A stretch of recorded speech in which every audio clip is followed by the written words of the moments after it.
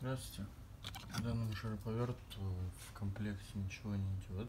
Я не помню, озвучил видео, нет. То есть непосредственно сам только аккумулятор.